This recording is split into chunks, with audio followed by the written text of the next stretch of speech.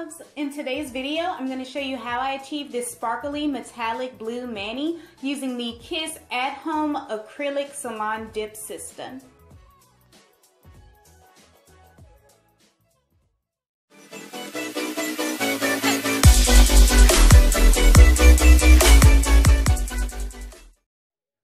Not be filming this video at a better time. That red nail polish, I had been wearing that for like at least two weeks and my nails were jacked up. It was time for this to come off. So obviously before I get into the demo of the Salon Dip system, I'm just gonna remove that nail polish. Using my cute butterfly nail clippers that I got from Dollar Tree, I'm just clipping my nails and evening them up. Now with my Kiss 100 slash 180 grit nail file, I'm gently buffing the shine off of my nails and also removing that excess red nail polish because it did stain since I didn't use a base coat. And lastly, before applying my false nails, I'm using my stainless steel cuticle pusher that I got from Shop Miss A to gently push my cuticles back and also push the skin away from the sides of my nails as well.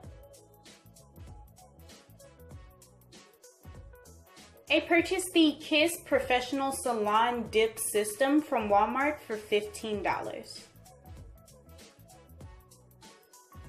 The kit includes 40 tips, a small sponge, brush-on gel glue, an activator, two replacement brushes for the gel, the dip powder tray, a nail file, the dipping powder, an orange stick, and the instructions. The 40 tips included in the kit consist of 20 natural and 20 white French tips. Instead of using the tips included in the set, I'll be using my own nails. I purchased this 360 piece ultra thin ballerina full cover nail set off of the Wish app for $9 plus $5 for shipping. It comes with 30 rows with 12 nails on each row. And that's roughly 30 sets. I say roughly because some of the nails are a little bit too small. So I do have to interchange them with nails from another row. But I really like the shape and length of these. They are rather flexible. They are very thin. They're meant to be used with either a gel overlay or an acrylic to strengthen it. Here are what the nails look like on. I applied them with the Kiss Powerflex Brush On Nail Glue. I love that they came pre-shaped because I suck at filing my nails and this is the shape that I've always tried to achieve.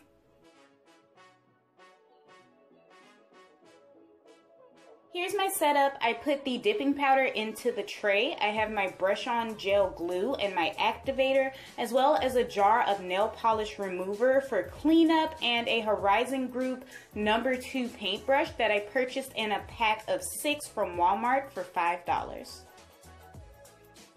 I did my left hand off camera since this is a new technique that I was trying out. I want to make sure that I had a pretty good grasp of it and it is rather easy to do.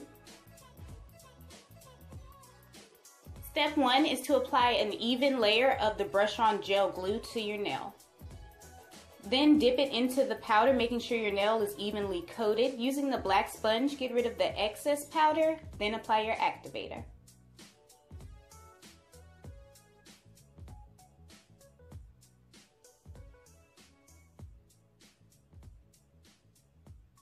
Now it's time to file and buff your nails into your desired shape.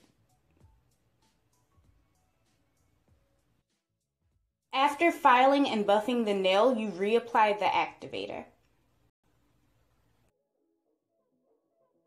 And the last step is to seal everything in with a final coat of the brush-on gel glue.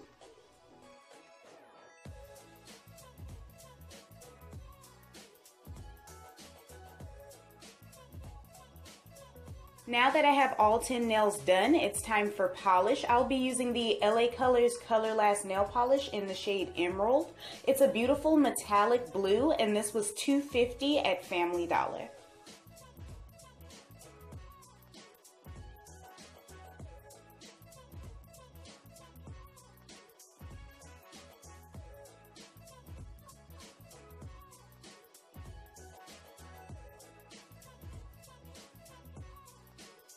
To seal in my polish, I'm using the LA Colors Rapid Dry Top Coat. That was $1.50, also from Family Dollar.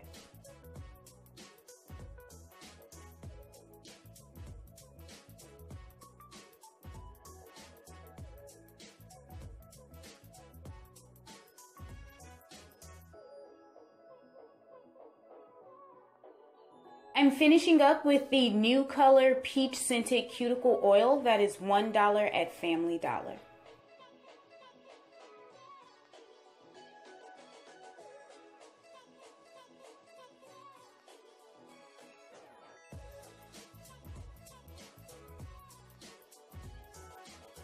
My final thoughts on the Kiss Professional Salon Dip System is that I do recommend it. I think it's a great product for the price given that you can get multiple sets out of it and the instruction sheet made it really easy to understand each step. The only con I have with this product is that even though it comes with two replacement brushes, I found that the brush for the brush on gel did get quite gunky rather quickly and it made it kind of difficult to complete one set. And here are my nails. I absolutely love this blue polish. It is so pretty and vibrant, especially when the sun hits it. I will make sure to list all of the products down below in the description. And I hope you loves enjoyed this video. Go ahead and drop a comment down below telling me what you thought. And until next time, bye loves!